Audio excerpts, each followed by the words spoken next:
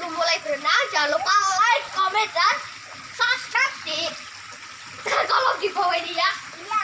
Dan share kepada orang yang kamu sukai Iya. atau keluarga.